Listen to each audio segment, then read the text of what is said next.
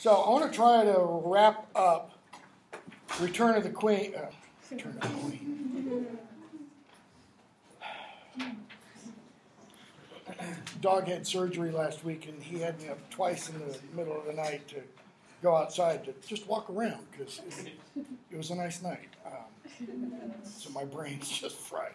Um, I want to pick up in chapter 5, the steward and the king of second half of Return of the King. Um, Frodo's already destroyed the ring, the battle outside the, the um, Black Gate has been decided. And Tolkien takes us back with this chapter, The Steward and the King. And we see for much of it Faramir and Eowyn in the houses of healing, or at least in the precincts of the houses of healing. The houses of healing is essentially like a little building, but then there's a garden attached to it. Okay? so I want to pick up with page 960, which is three to four pages into the chapter. Okay? And Faramir and Eowyn find each other outside in this little garden area. And oh, actually, I'm going to pick up from 959. Faramir asks Eowyn, What would you have me do, lady? I also am a prisoner of the healers. And he looks at her. He sees loveliness with grief. And he asks her again, What do you want? If you, not you, stupid. If it lies in my power. Loveliness with grief, any of circuit. Take a gander. Shut up. If it lies within my power, he says, I'll do it. And she says, Tell the warden to let me go. Why? Because again, as she has said earlier to Aragorn, she's a shield maiden. Okay? uh, Faramir says top of 960. Can't do that. Why? I'm in his keeping too. In other words, he actually has say over me. He says, you know, we have to stay here until we receive our healing. She says, but I do not desire healing. I wish to ride, I wish to ride warlike, I wish to ride to war like my brother Eomer, or better, like Theoden the king. And notice what she means better.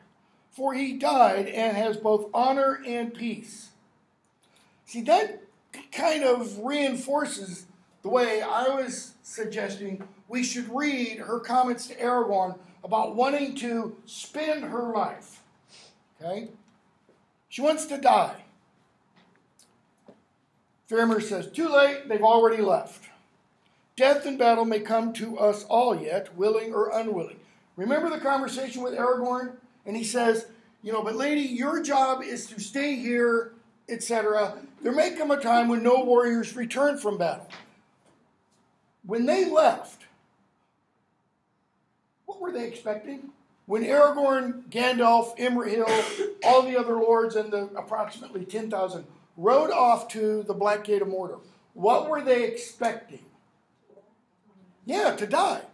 They were marching into a trap. They were simply trying to draw Sauron's eye out. Gandalf says, You know, we may die. There's a little teeny tiny bit of hope. Okay? But not much. So, what would the purpose of Faramir and Eowyn then be? If they're all dead? Tell a story. Okay, possibly. But what did Aragorn in that earlier conversation with Eowyn say? There may come a time when there won't be any stories. Why? Because you will be left behind and do what? Have to show greater valor knowing nobody's going to tell your story. Faramir is suggesting here we might just have to wait for Sauron to come obliterate us. You will be better prepared to face it in your own manner if, while there is still time, you do as the healer commanded. That is, you might be better prepared to face what's coming if you're at least healthy. Maybe then you'll get a good swing in. She doesn't answer.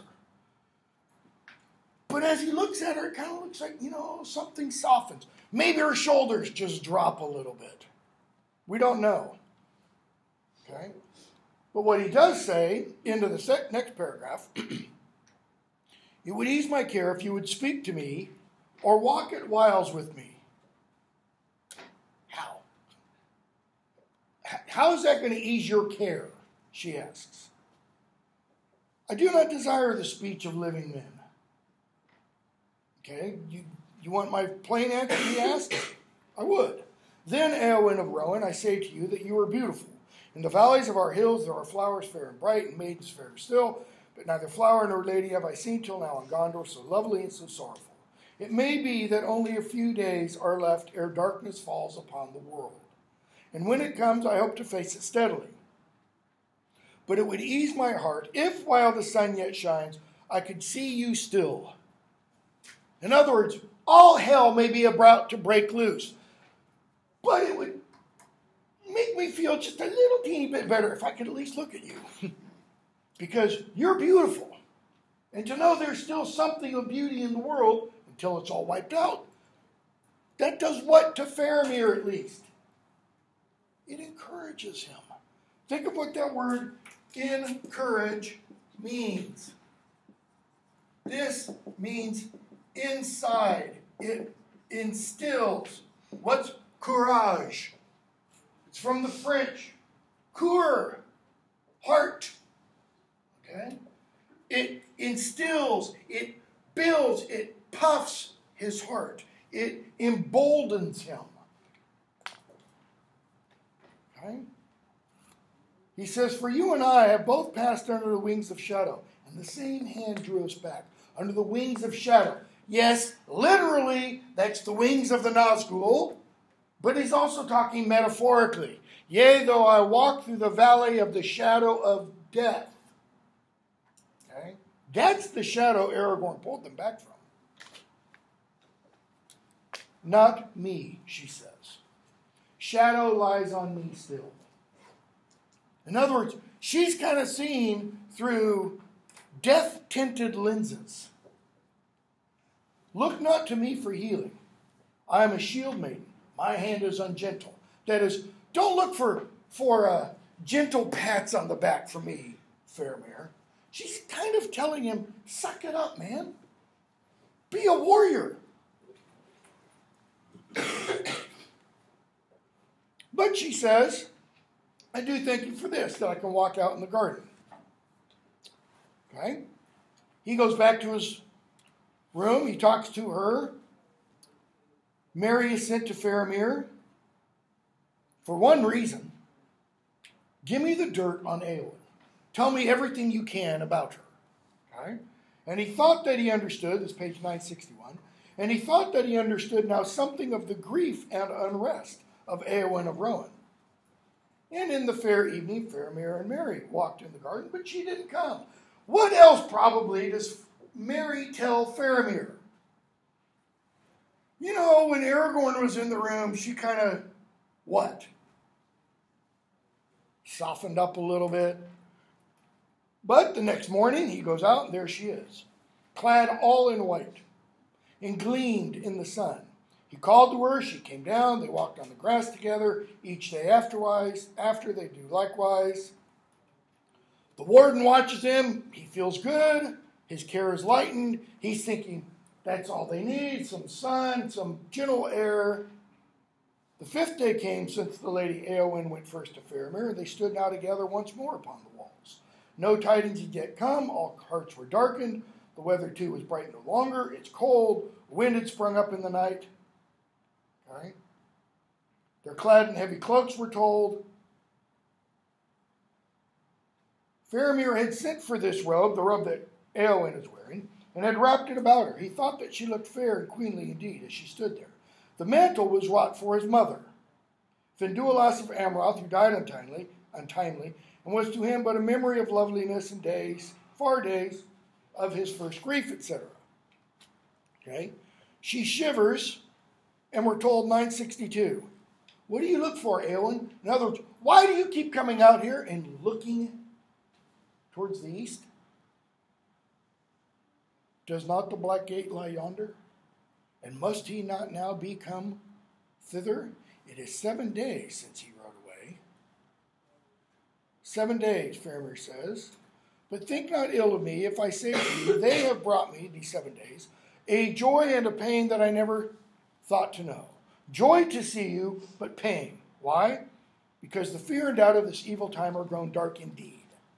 Eh, Eowyn, I would not have this world end now, or lose so soon what I have found. He's thinking, You're so close, and the world's about to.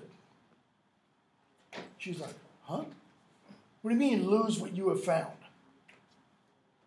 But she looked at him gravely. I know not what in these days you have found that you could lose. But come, not talk about it. Let's not talk at all. Let's just look out, seemingly, at coming death. Man, she can be a downer. I stand upon some dreadful brink, and it is utterly dark in the abyss before my feet, but whether there is any light behind me, I cannot tell. She stands, she says, at an abyss, and she doesn't see any light ahead of her. Pitch black. And she doesn't know if there's any light behind her. kind of lost, right? For I cannot turn yet. She can't turn means, means what? It's not to the left or to the right. It's she can't turn around. She can't go in the opposite direction. Why not? I wait for some stroke of doom. Faramir, yes, we do. And it seemed to them, as they said no more, and it seemed to them as they stood upon the wall, that the wind died and the light failed and the sun was bleared. And all sounds in the city or in the lands about were hushed. In other words, it seems like what? Time stops. She said, I wait for some stroke of doom. Neither wind, nor voice, nor bird call, nor rustle of leaf, nor their own breath could be heard. The very beating of their hearts was stilled. Time stops. Time halted. And as they stood so, their hands meet and clasp, though they are aware of it. They wait for no they know not what. Then presently it seemed to them that above the ridges of the distant mountains, what are the distant mountains? The mountains of Mordor. What happens behind those distant mountains? Another vast mountain of darkness rose, towering up like a wave that should engulf the world. In other words, some kind of shadow rises up and it looks like a tsunami, a tidal wave. It's going to come out and it's going to break over the mountains and just wash all over Gondor and everything behind it. And there's lightning, and then there's an earthquake. Darkness coming, lightning, earthquake, sounds like in the days, right? A sound like a sigh goes up from all the lands. And then the hearts beat. Faramir, that reminds me of Numenor. Well, what happened to Numenor? You have to read the Silmarillion. Numenor, the isle between Valinor, where the gods live, and Middle Earth, Numenor, also called Westernesse, is where Aragorn's people ultimately come from. And what happens to it? Because of Sauron, it sinks into the sea. Because that's when the gods reshape Middle Earth. And the reason it sinks is they're bringing down judgment upon it. Why? Because the men of Westernesse, some of them, most of them, followed Sauron's temptation. Okay? So he says, it reminds me of Numenor means, uh oh, we're about to be engulfed. She says, Numenor?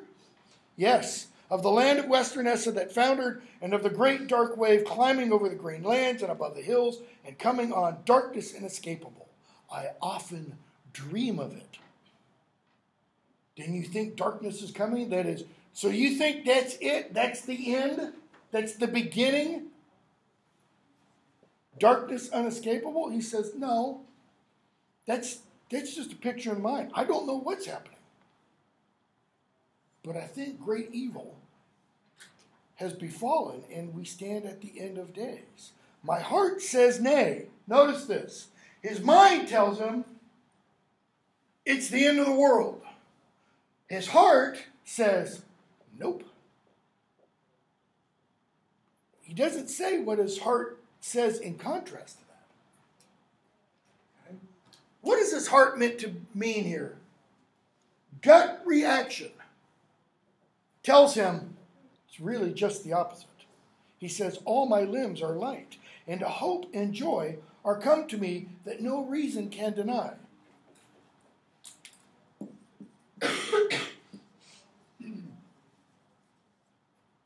A eucatastrophe is what he's talking about. Eowyn, Eowyn, White Lady of Rohan, in this hour I do not believe that any darkness will endure. And he kisses her. And what happens? As they stood on the walls of the city of Gondor, a great, great wind rose and blew. Their hair mixes. You know, little foreshadowing of whatever in the future. And people start to sing.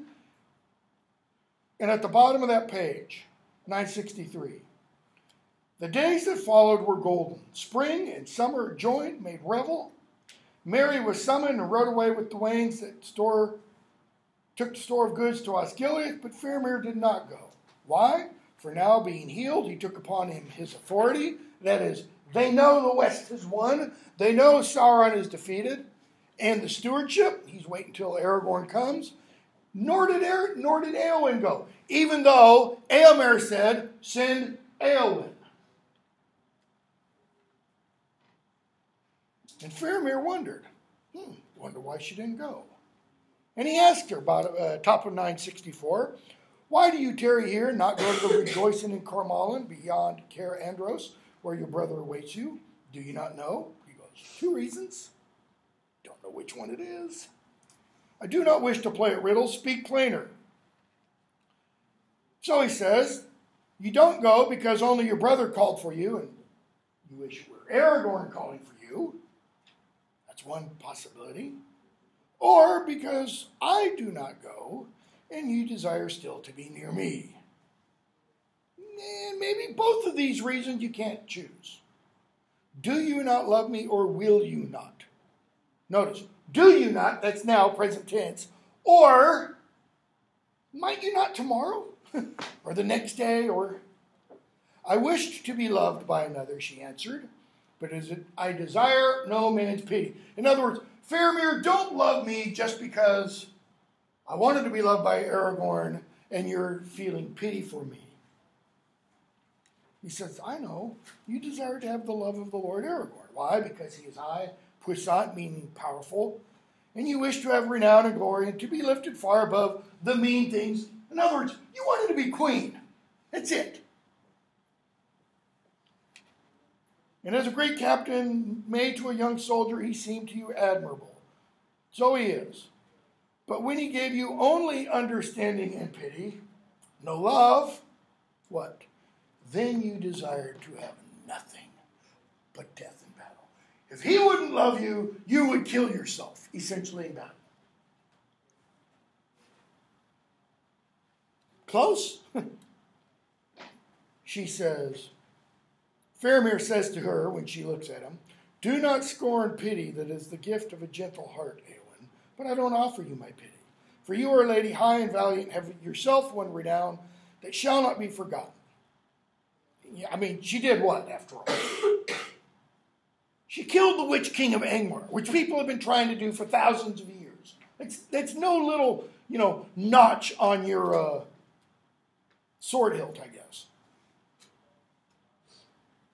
And you are a lady beautiful, I deem, beyond even the words of the elven tongue to tell. And I love you. Once I pitied your sorrow. That is when I first met you, then I pitied you. Not anymore. Now, were you sorrowless, without fear or any lack, were you the blissful queen of Gondor, still I would love you, which would be kind of, you know, no-no, since if she were queen, there'd probably be a king involved. Eowyn, do you not love me? Then the heart of Eowyn changed. Notice, it's seemingly instantaneous. or else at least she understood it. So it's either that it changes right then, or finally, her mind and her heart get in sync together. Whereas before, she's been grinding the gears between them. And now she understands why it is she really stood or stayed. And suddenly her winter passed. Notice how frequently before then she's described as cold. I stand in Minas Anor, the tower of the sun, she says. And behold, the shadow has departed. What shadow? Look at the next few lines. I will be a shield maiden no longer, nor vie with the great writers, nor take joy only in the songs of slaying. It's that shadow. It's, it's partly the shadow of death. But what else is it? Slaying and glory. She's saying the shadow of my previous mentality, which was all about what? What kind of people are the Rohirrim? I've said before. They are Anglo Saxon warriors.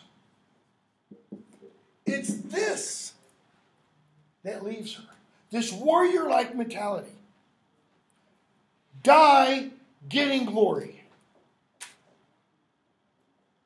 She says, I will no longer take joy only in the songs what?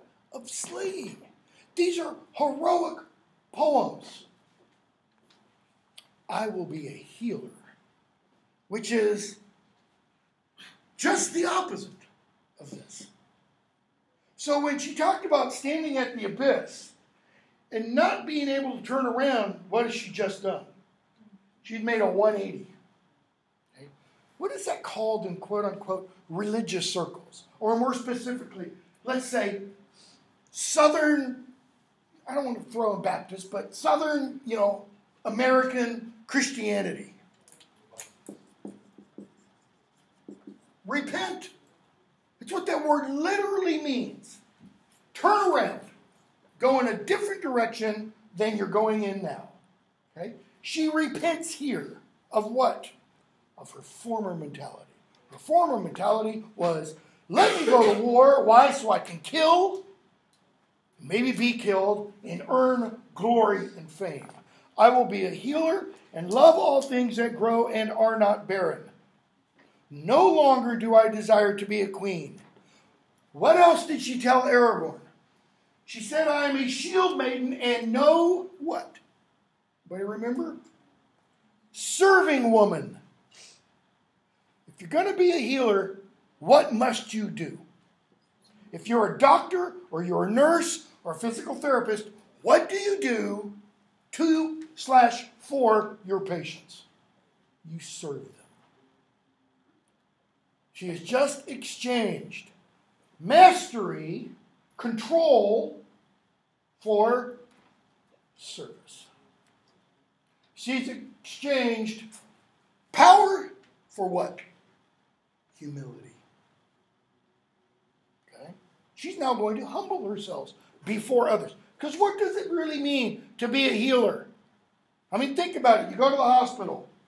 What has to be done every day for somebody who is bedridden?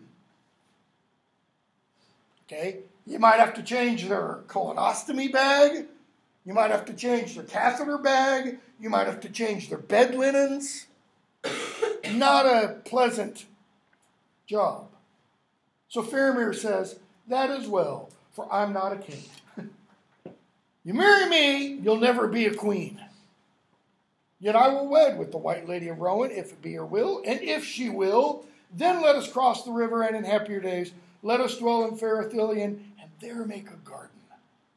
All things will grow with joy there, if the white lady comes. Okay? She says, So I must leave my own people? Was there no woman of the race of Numenor to choose? She asked Faramir. Why? Because he's also descended from the race of Numenor. Faramir says, I would, I would what? I would choose you. All right? And so he says to the warden, Here is the lady Eowyn of Rohan, and now she is healed. She wasn't healed before. She was healed how? I mean, she was, let's say, partially healed. How was she healed? Was she spiritually healed before? No, she is now. She was physically healed before. She didn't have any physical physical thing wrong with her. But up here or in here, yeah, she's still a lot wrong. But now she's firing on all eight cylinders. She's working well, in other words. Okay? So, now we're going to skip bunch. Uh, we're going to skip all the steward and the king stuff. You know, Aragorn gets crowned. We get many partings, chapter 6. Arwen on page 974 gives Frodo her gift, okay, which is his ticket to the west. Um, the chapter goes on, and we see them ride north. And Aragorn and Arwen only go so far, and then the fellowship starts to break again. They arrive at Isengard, and what little surprise does um, Treebeard pull on Gandalf? I let Saruman go. Why? I don't like caging things up. He's like, okay, but he pulled a fast one on you. You think he didn't have any power, but he still had the power of his voice. Okay? And then page 984, 983, 84, they meet Saruman. And what do Frodo and Gandalf and Galadriel offer him? A second chance.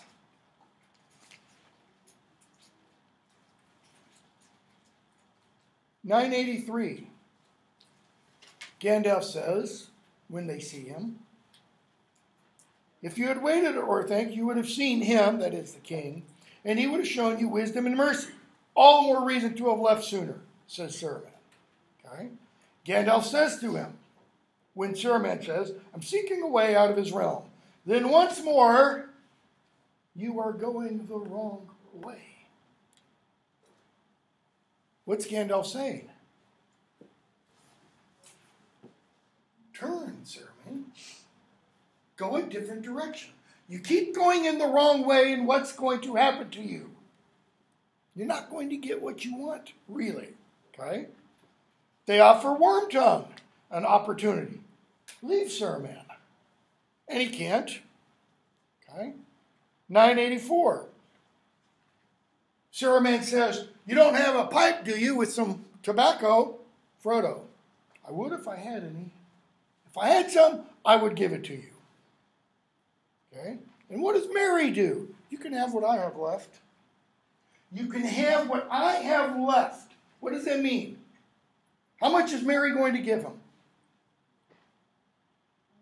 All of it. All of it. He's giving Saruman everything in terms of the tobacco that he has. Okay? He's not just giving him a little, it's all. Okay? It came from the flotsam of Isengard. Notice, Saruman then says, Well, then it's mine. It was mine to begin with. Bottom of 984. They're talking about where the pipeweed and stuff came from. And Gandalf says, Alas for Saruman, I fear nothing more can be made of him. What did he say to Aragorn, Legolas, and Gimli when they said, But you're all in white now? He says, Yes, I am white. Indeed, I am what? What Saruman should have been. In other words, Saruman should have become more than he was. Gandalf is saying, I don't think we can do anything else with Saruman. He is frozen, as it were. He's not going to, well, let's use the modern term, evolve. He's not going to improve at all. What happened to Eowyn? She grew. She didn't stay frozen. Okay? He is withered altogether. All the same, I'm not sure that Treebeard is right. Okay? So they go on, and uh, da, da, da, I'm going to skip a bunch again. They leave Bilbo at um, Rivendell, chapter 7, Homeward Bound. They keep going on and they make their way to Bree and the Prancing Pony. They see Butterbur. Butterbur finds out that Strider is the new king and it kind of blows his socks off. In 996, they hear from Butterbur about doings in the Shire. Merry says, Well, we've got you with us, Gandalf. Soon, soon things will be cleared up. I am with you at present, he says. Soon I shall not be. I'm not coming to the Shire. You must settle its affairs yourselves. That is what you have been trained for. What's he mean? Or what does he suggest or imply there? Their little adventures of the last year have been for what purpose? To make them ready for what's about to happen. That Merry striking, you know, the captain of the nine, that Pippin falling under an orc, uh, mountain troll, all of that was part of the process of preparing them for taking back the Shire. Do you not yet understand? My time is over. It is no longer my task to set things to rights, nor to help folk to do so. In other words, it's time for you to set things to rights. And when they're dead, whose job will it be? The people who come after them. Remember, Gandalf, the last debate, said, Our job is what? To deal with the ills or the evils of our time. Gandalf is saying, My time's done. Now it's your time. You are grown up now, grown indeed very high, both literally, Merry and Pippin, and metaphorically. Me, he says, I'm going to have a long talk with Bombadil. Such a talk as I have not had in all my time. He's had a lot of talks in the last several thousand years. He is a moss gatherer, and I've been a stone doomed to rolling. So they go off to the Shire. And the Shire is not what it was when they left. I'm going to skip all the battles and stuff and get to the very end of that chapter. They finally arrive at Bag End. And who does, find, who does Frodo find living in his house? Sharky slash Saruman. They kick him out, and Saruman says, bottom of 1018, Still, I've already done much that you will find it hard to mend or undo in your lives, and it will be pleasant to think of that and set it against my injuries. In other words, I went into your house and I totally trashed it. And while I'm wandering in the wastes, that will bring, bring some pleasure to my mind, knowing I've ruined much that had been beautiful. He's talking about not Frodo's literal own home, though that is involved, but the Shire. He cut down the party tree, he cut down other trees. He's uglified it, in other words. He's done what city planners kind of do, intentionally or not. Frodo, well, if that's what you find pleasure in, I pity you. Saruman finds pleasure in what? Destroying things, other people's pain. Okay? So they get ready to leave. The hobbits want to kill him. Frodo says, No. Why not? He says, It is useless to meet revenge with revenge, it will heal nothing. Saruman tries to stab Frodo. They stop him. Sam's getting ready to kill him. Again, Frodo says, No, Sam. Do not kill him even now, page 1019. For he has not hurt me, and in any case I do not wish him to be slain in this evil mood. He was great once, of a noble kind that we should not dare to raise our hands against. He's saying, We're just little hobbits. It's, it's not in our job description to take care of former wizards. He is fallen, and his cure is beyond us. Okay, now notice those two words fallen, cure. Fallen kind of implies he misstepped and he just needs help getting up. Cure implies what? He's ill, he's sick. So, how do you reconcile ill and sick with fallen? Well, he's using fallen in the religious sense. He's not what he was made to be. Okay?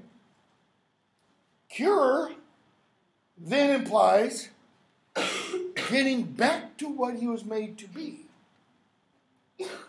He is fallen and his cure is beyond us, but I would still spare him. Why? In the hope that he may find. Before Saruman dies, Frodo hopes he will find his cure. He will become essentially unfallen.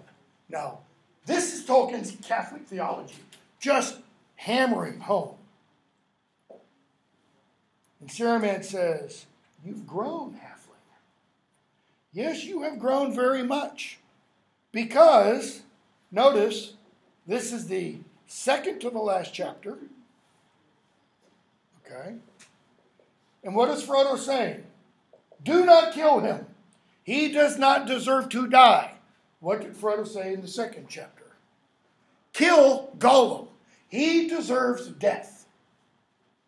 Notice how Tolkien kind of matches those two paragraph uh, chapters.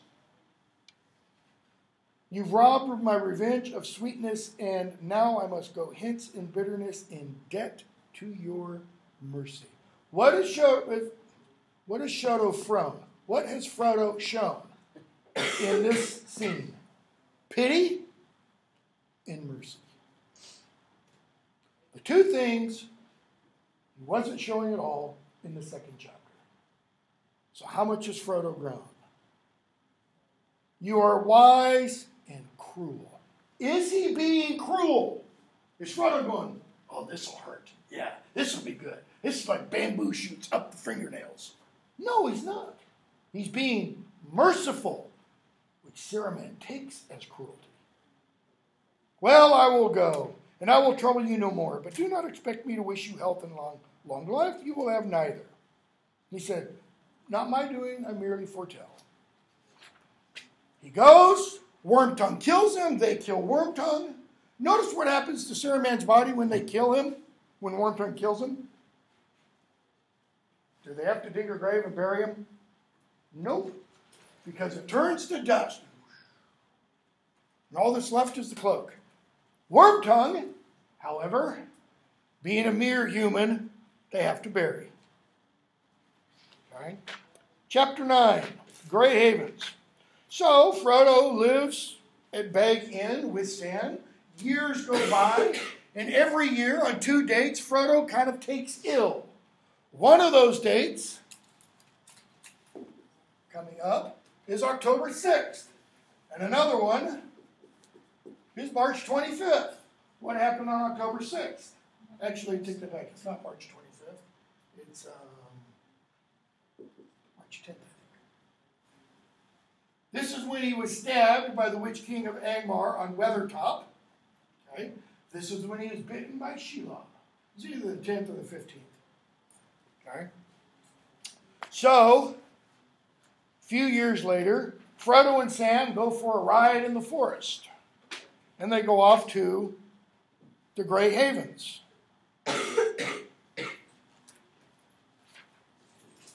and page 1029. They meet up, bunch of elves, Gildor, Elrond, Galadriel, Bilbo even. And Sam says, 1029, Where are you going, Master?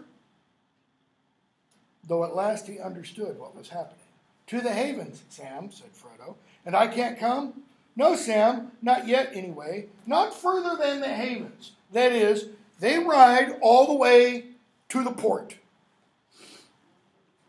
Though you too were a ring bearer, if only for a little while. Your time may come. Do not be too sad, Sam. You cannot be always torn in two. You will have to be one and whole for many years. Remember Eowyn? She was torn in two.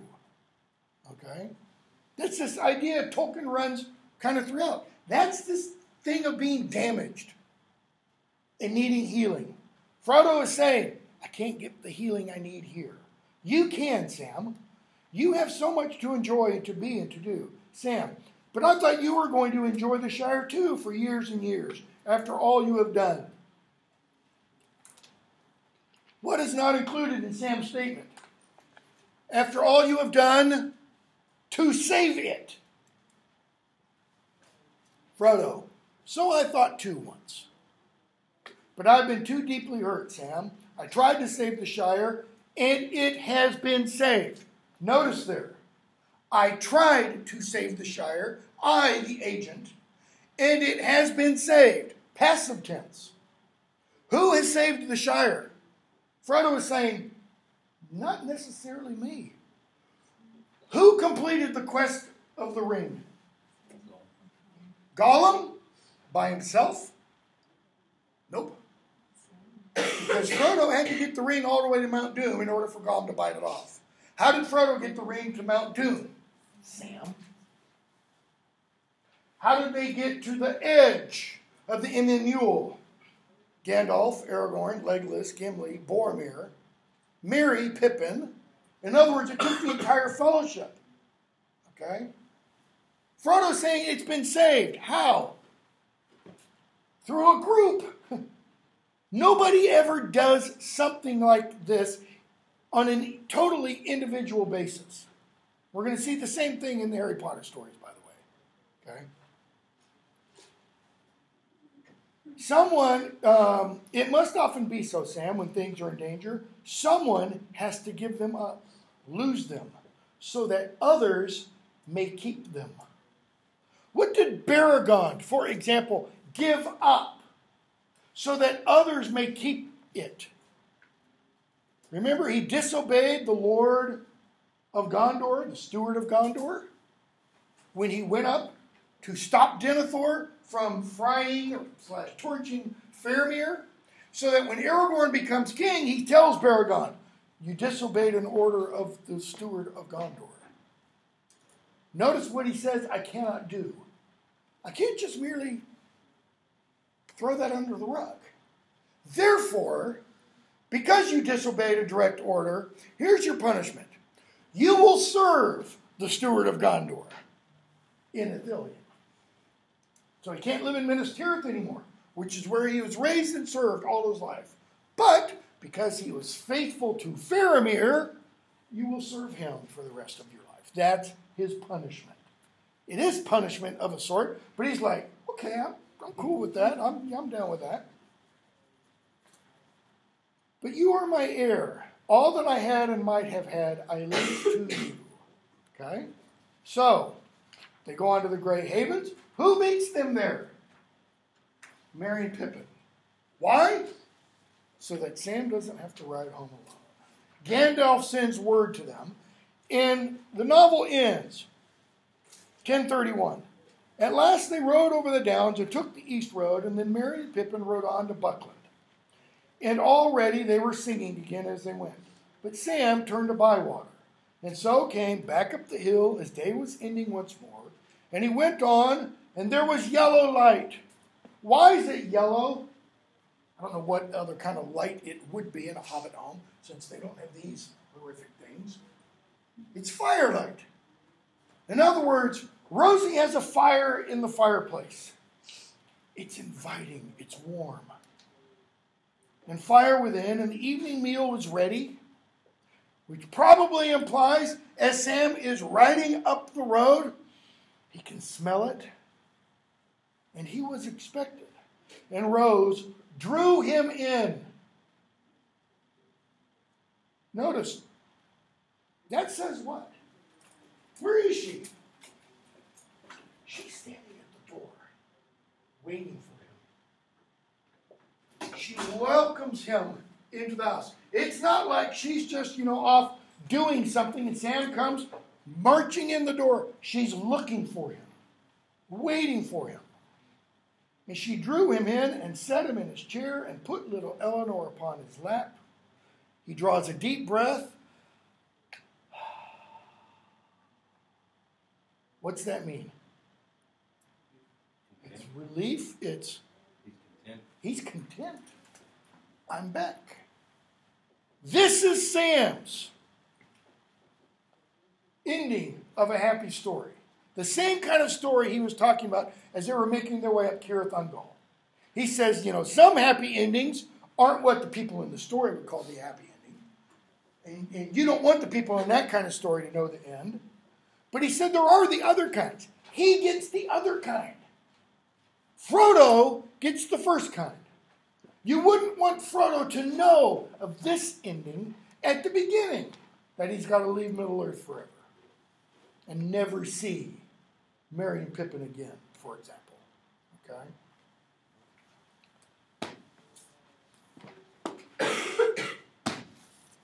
the theme of the class is renunciation of power. Notice how Sam renounces power. Notice how Frodo fails at the very end. Okay? But there's a reason for it. A ring, Frodo, a power a ring of power that any mortal has for too long will what? It will take control of the wearer. Okay? We see Eowyn renounce power and control, the desire to be a queen. We see Aragorn renounce power multiple times, even though at the end he does take it. Why does he take it? Why does he become king? It's destiny. It's what he's born for. That is the rightful use of power. All right? In the Harry Potter stories, we get something different. We get, one, different kinds of power being represented, but we do also have the desire to wield power over others. You know, the, the um, what are going to be called the three unforgivable curses. Okay, so as we start Sorcerer's Stone, we won't get through all of it today, but we'll get pretty close. How many of you know that how this began? The story of its creation. Okay? J.K. Rowling is on a train one day from Manchester to London. And at one moment on that train ride, she is a unwed mother. She had been wed when the baby was conceived, divorced by the time the baby was born. She was an unwed mother living on Scottish welfare, okay, unemployed, with really no prospects. Okay? And in one second, she has no idea of any of this. And another second, an idea pops into her mind of a boy who discovers on his 11th birthday that his parents were murdered by the greatest dark wizard who ever lived, and this dark wizard is out to kill him. One second, that idea never exists. Another second, that idea does exist. Why her? Why J.K. Rowling? Why didn't one of you have this idea? Why didn't I have this idea? Where, where does that kind of literary inspiration come from? Nobody knows. Nobody knows how that occurs. Is it like, you know, ideas exist in bubbles in the ether and you just have to go through the bubble and it latch onto you? Because here's kind of why I'm getting at that. She takes several years to write this. I mean, that happened in either 90 or 91, that idea. Okay? She starts writing these. Okay? And she starts writing the other books, taking notes for the other books, even before this one is published. Okay?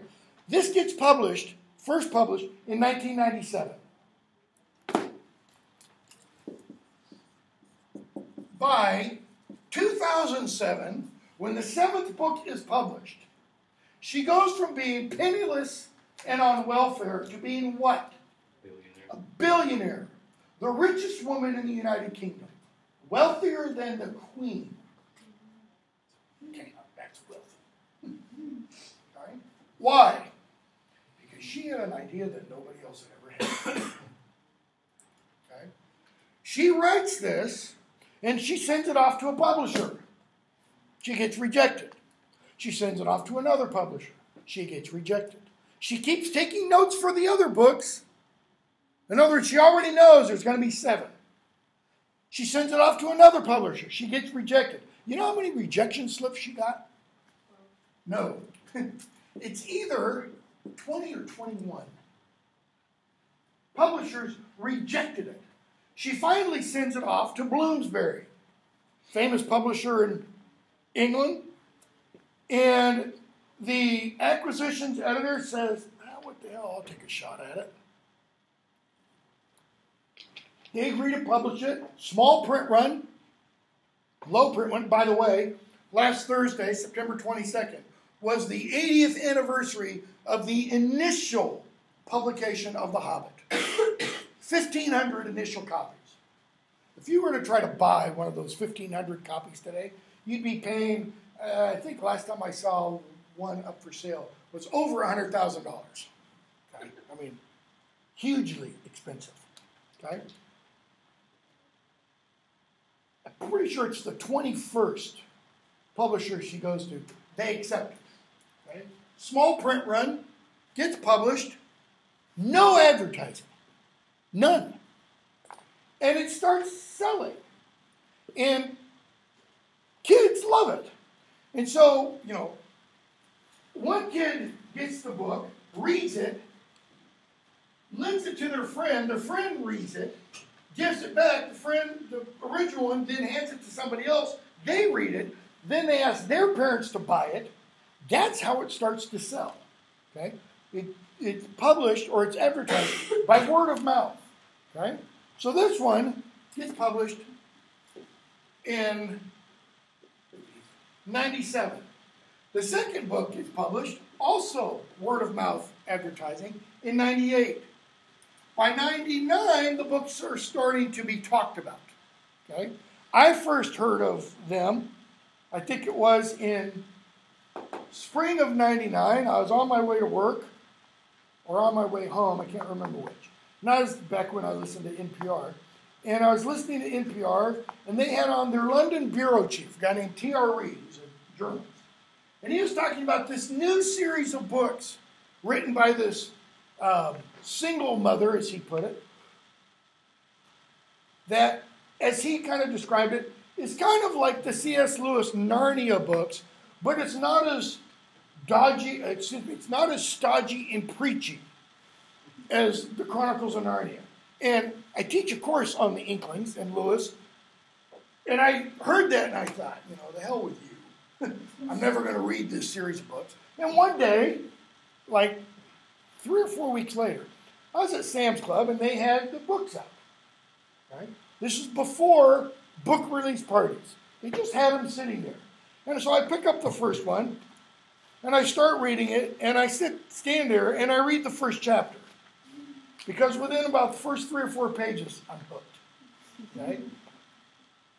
I buy it, I read it overnight, I go back the next day and I buy the next two. I mean, I, I was hooked that quickly. Because it's, it's not what T.R. Reid essentially said. It is a lot like C.S. Lewis. And by the re- way, there's a reason there's seven of these. It's because there were seven Chronicles of Narnia. Rowling has said. She had, at one point, she had described Lewis as her favorite author. At other points, she says it's Jane Austen. So, you know, go figure. But she has said in a couple of interviews if she went into a room and a room had a copy of the Chronicles of Narnia, she could not stop herself from going in and picking up one of the Chronicles and just starting reading.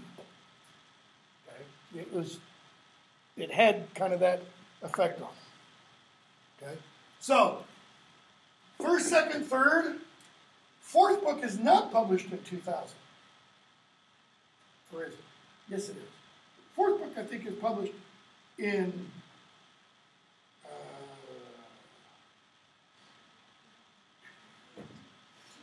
yeah, I think it is 2000.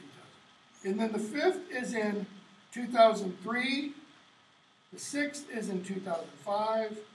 And the seventh is in 2000. It's either 2000 or, yeah, I'm almost positive it's 2000. Um, so you get a gap, pretty good gap, between here and here. Okay? It's with this book, Harry Potter and the Goblet of Fire, that you get the midnight release parties.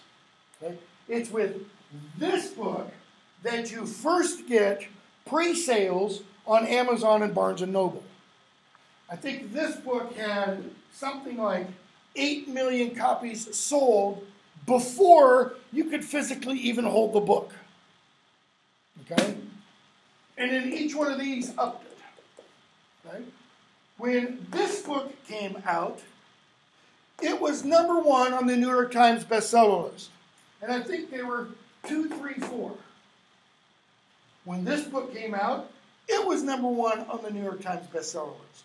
Between number five and number six, the New York Times created a different bestseller list so that J.K. Rowling would not be number one. And they did that because the literary geniuses at the New York Times said a book of children's fiction should not be number one on the New York Times bestseller list. Only, as one of my colleagues would say, only serious fiction should be number one. Okay? So, for this book and this book, you had the New York Times bestseller list of children's literature.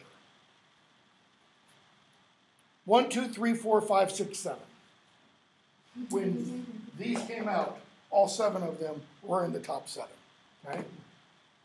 She has, I think this is pretty current, as of today, sold over 450 million copies.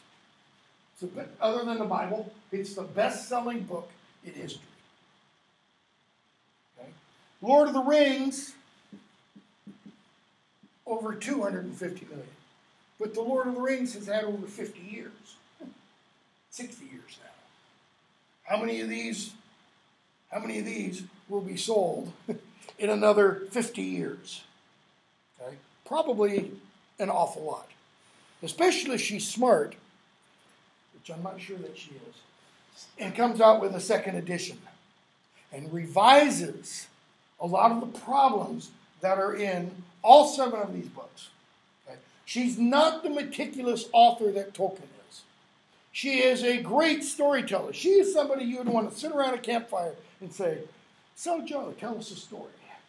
And she would just have you in rapt attention. Tolkien's the kind of person who makes sure every little loose end is wrapped up. Or if it's not wrapped up, it is so buried or lost you can't find it.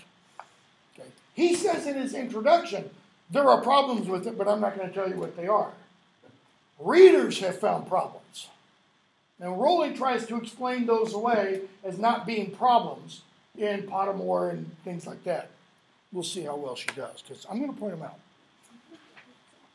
So, this exists in a tradition, okay? And the tradition is the, um, what do I want to call it? The, the schoolboy story. That is the kind of fiction where you have somebody go off to school and you read about their adventures slash experiences there. There, it goes back to um, uh, completely blanking out on the name. Tom Brown's School Days. Thomas Arnold, I think, in the mid 1850s or so. Okay, but you have a whole series of works kind of along the same lines. The difference, obviously, is this is a work of fantasy. How do you know? Well, people don't fly on brooms, first of all. And I know there are there is now actually a Quidditch league. People are so stupid. Quidditch, you know, league where people play, schools play. I mean, there are colleges with Quidditch teams, the whole nine yards. Okay? I don't think she necessarily intends that when it begins. So you begin with, and I'm going to start with the first chapter. I'm going to skip a bunch. This is what initially hooked me. Mr. and Mrs. Dursley of number four Privet Drive were proud to say that they were perfectly normal. Thank you very much. In other words, that thank you very much is so quintessentially British.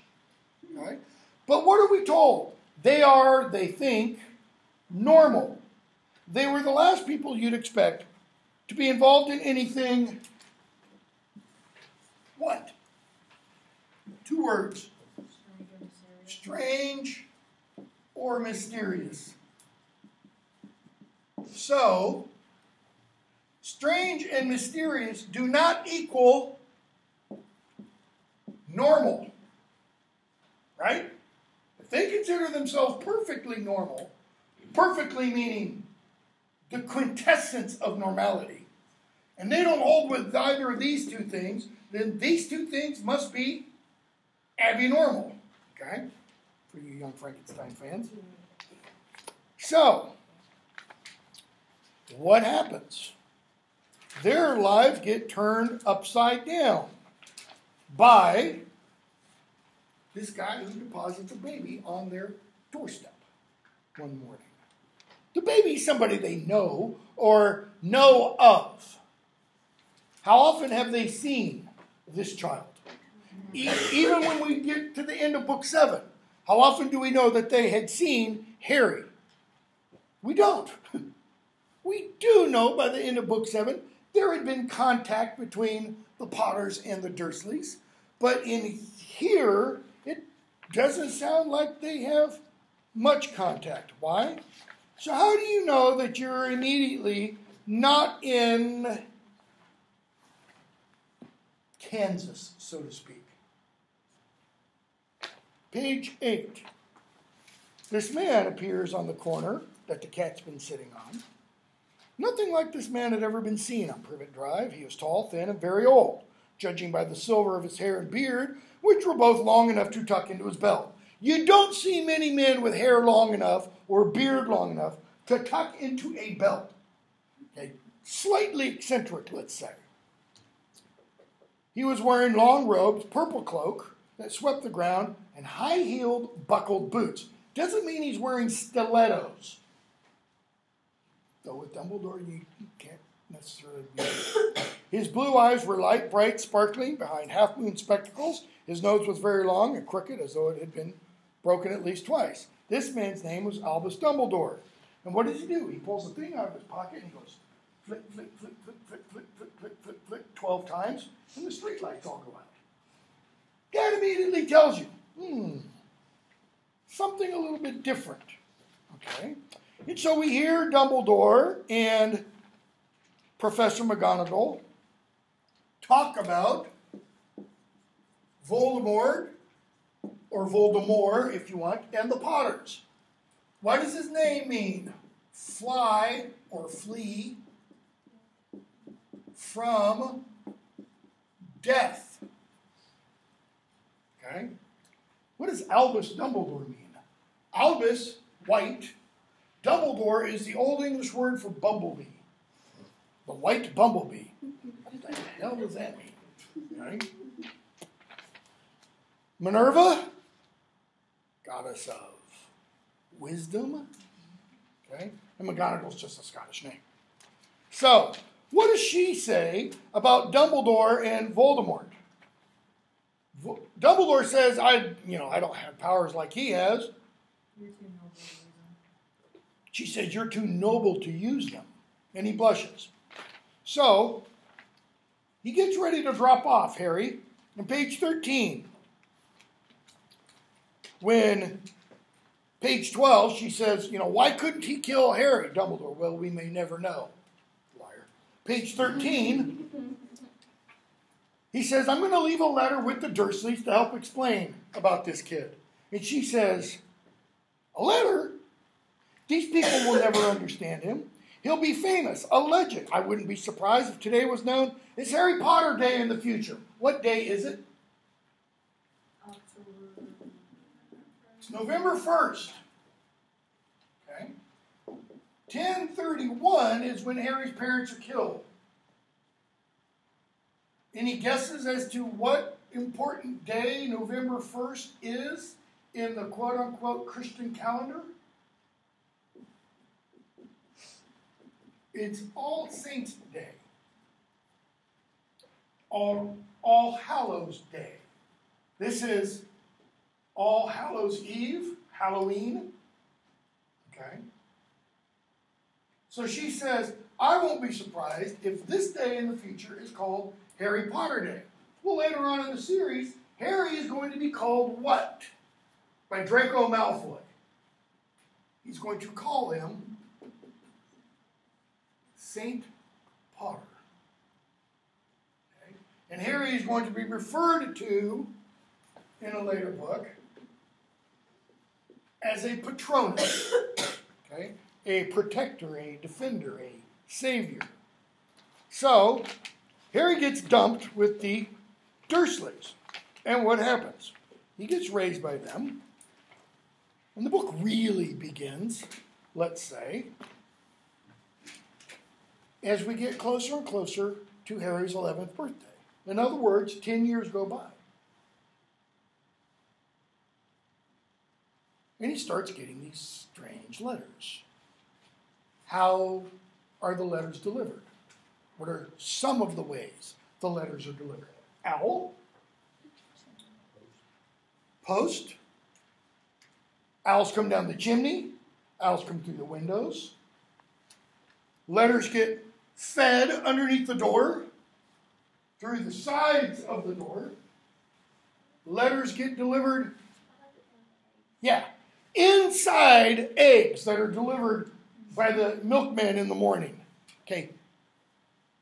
Inside the egg. So you crack an egg to make a scrambled egg, and there's a letter all folded up. You know, you, you open it, it magically kind of gets bigger and bigger and bigger. What should that tell the Dursleys? There's no escaping this. And what does Vernon Dursley do? He tries as hard as he can. He nails all the doors and windows closed. He, you know, puts something over the fireplace. It's the letters coming in the eggs. That's the final straw. So they leave the house. They go off to a hotel. A hundred letters are delivered there that night. He leaves. They leave. He goes off. He buys something in a long package. They go off. They park in the middle of a meadow, and Dudley's like, Daddy's lost his marbles, hasn't he, Mommy? Daddy's lost his marbles. And she's like, okay. So where do they finally go? Yeah, they go to, what is it? What does it say? It says, where is the letter addressed? Um, page 51. Mr. H. Potter, the floor, hut on the rock, the sea. Okay? After they go out to this rock, the parents, Vernon and Petunia, sleep in a little room. Dudley sleeps on the broken down couch in the night, and Harry curls up next to the non existent fire by the fireplace. And he sees Dudley's hand hanging down over the edge of the couch, and he counts away to midnight because that will be his 11th birthday. What day? July 31st. Why that day? It's Rowling's birthday. Okay? And when the watch ticks off at 12.01, bam, the door gets burst open. And we meet Hagrid, keeper of the keys. I'm skipping a bunch. And Hagrid finds out, pages 48, 49, Harry doesn't know anything. Okay? Harry says, You know, I, I know some stuff. I mean, I can do math. You know, I'm not a complete idiot. And Hagrid says, page 50, but our world, I mean, your world, my world, your parents' world. What? Dursley! You must know about your mom and dad. I mean, they're famous, you're famous. They weren't famous. You don't know, you don't know. You don't know what you are. Vernon says, Stop right there. He's never going to know. What does he say? We said when we took him in, we'd stamp that nonsense out of him. So Vernon says something bad about Albus Dumbledore. Hagrid doesn't take that lightly. Top of 51. Harry, I'm a what? A wizard, of course. And a thumping good one, I'd say, once you've been trained up a bit. With a mom and dad like yours, what else would you be? And I reckon it's about time, and he hands him the letter. Okay? He goes on, talks about muggles. The Dursleys are muggles. What does a muggle mean? Non magical. Okay? She doesn't invent the word, by the way. There's a street in London, Shakespeare lived on it, called Monkwell. But in Shakespeare's day, that word is pronounced muggle. You just don't pronounce the mm, and this gets muggle, okay? Because the W is silent. Vernon, 53. We swore when we took him in, we put a stop to that rubbish. Swore we'd stamp it out of it. You knew, Harris said. You knew I'm a wizard. Of course we knew. Aunt Petunia goes berserk. How could you not be my dreaded sister being what she was? Oh, she got a letter just like that. Blah, blah, blah, blah. Lily this, Lily that. You're a freak. Then she met that Potter at school. They left, got married, had you. And of course, you know, strange, abnormal. Car crash.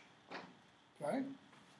So, Hagrid tells Harry about Voldemort. And Vernon says, 56, I know there's something strange about you. Probably good beating wouldn't have cured. Parents got, you know, some sticky end. He calls Dumbledore crackpot. Hagrid curses him, hits Dudley instead, gives him a pig's tail. And he takes Dudley, he takes Harry off the next morning to Diagon Alley. Which, if you say really fast, becomes diagonally. Why is it diagonally? It can't be seen head on. This is one of the brilliant things Rowling does here.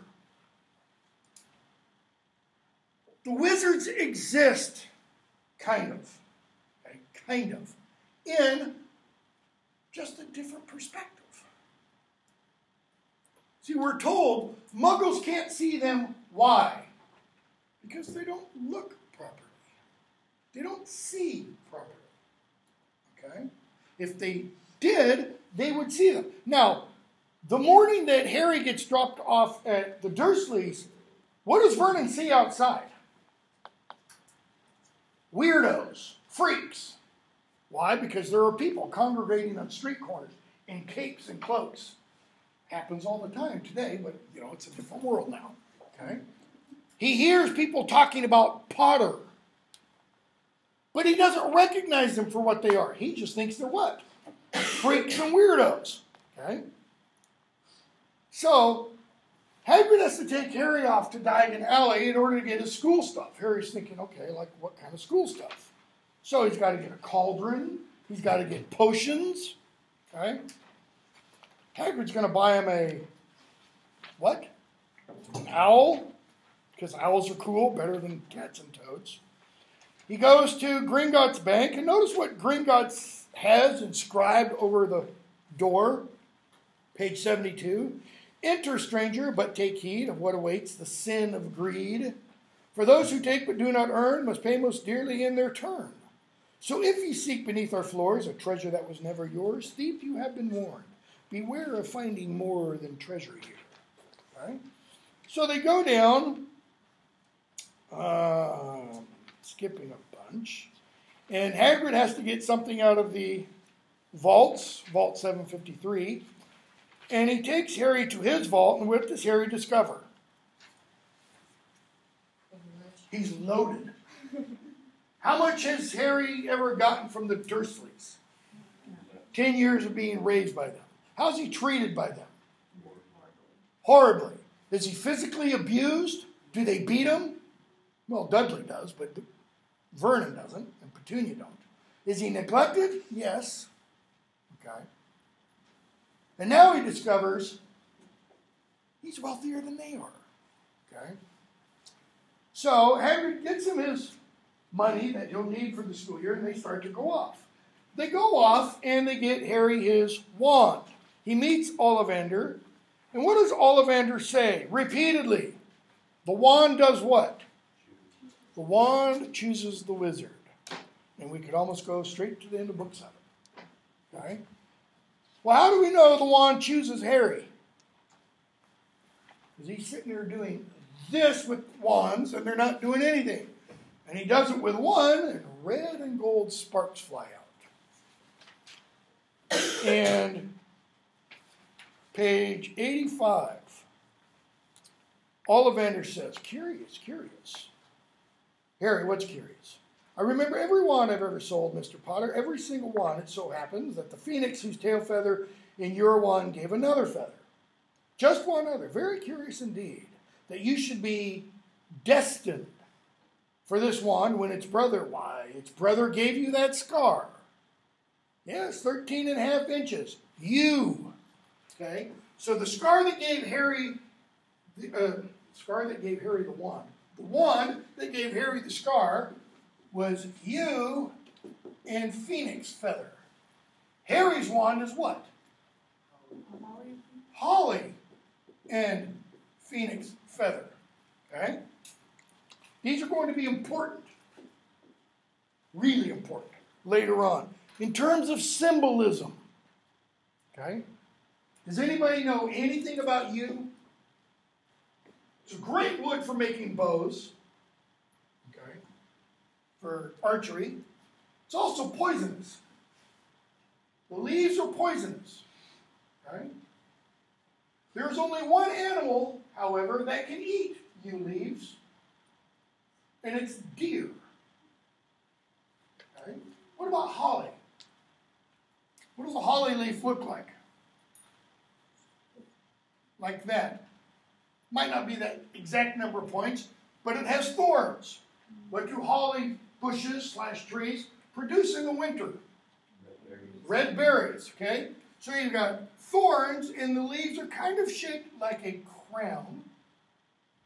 See where I'm going? And you have red berries. Okay?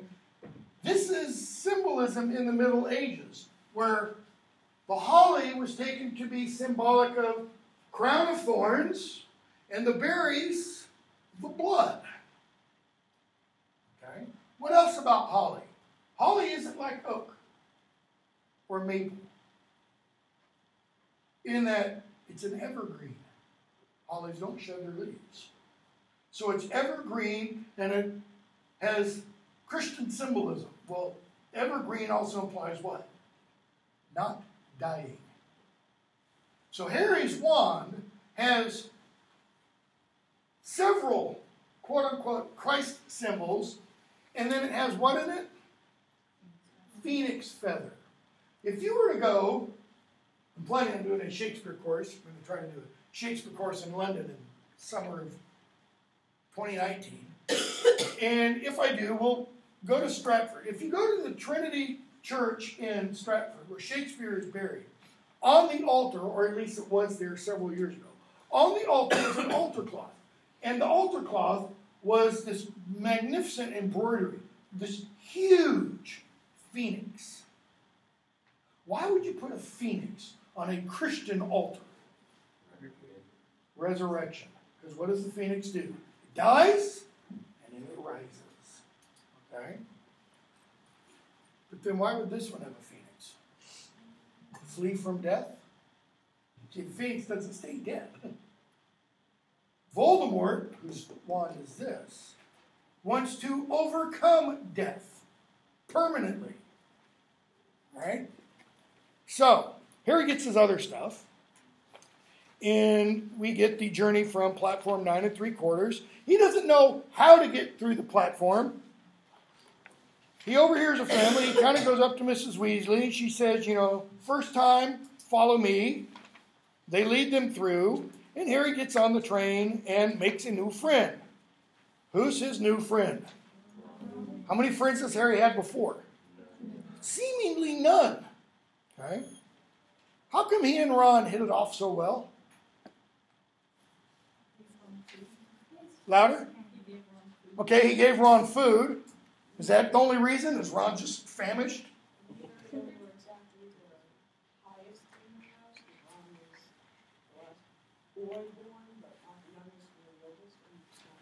He, Yeah, Ron's the youngest son. How many children are there in Ron's family? Seven. Okay. He's the sixth born, He's a first year. and he's a first year. Those of you come from large families, I'm the youngest of five. What does that usually mean? Hand me downs. What kind of hand me downs does Ron have? He's got a hand me down wand. He's going to get hand me down robes in uh, the fourth book that look like girls' robes, you know. Okay? His family is poor. Harry's family isn't poor, but Harry has been poor. Okay? What else? Harry doesn't know anything about the place he's going to, right? I mean, we didn't talk about it. Madam Malkin's robe. He meets another student. And that student says, I don't think they should let the other kind in, do you? And Harry's oh, I don't know. Because he doesn't know what he's talking about. Okay? That's our first introduction to Draco Malfoy. We'll meet him again in just a moment. So Draco Malfoy comes in and says, It's you, it's Harry Potter, is it? And what does he offer Harry? Friendship. What does he say his friendship will bring? What does he imply it will bring? It will open doors. He says, essentially, you don't want to go hanging around with riffraff like the Weasleys. Okay? He says, I can help you there. I mean, Malfoy, Harry doesn't know this, but Ron does. Malfoy is what kind of name? It's powerful. It's powerful. Carries a lot of weight. What does it mean?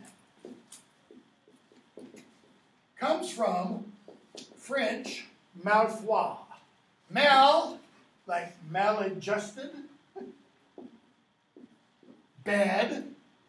Foi, bad faith. Draco, dragon, bad faith, is what his name literally means. It's not, however, bad faith as in put your faith in the Malfoys and that's bad faith. It's bad faith in whom the Malfoys place their faith. Okay? What's his father's name?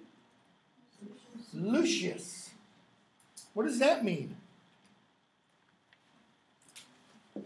Light. What is Satan's real name?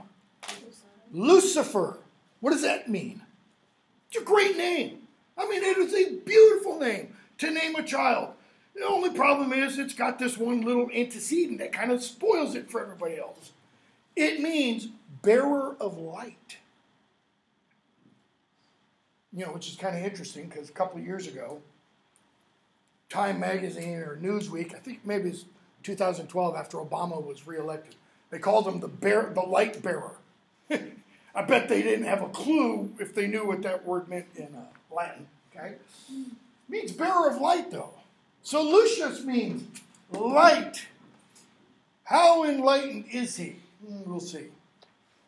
So he goes off to school, and we have the sorting hat.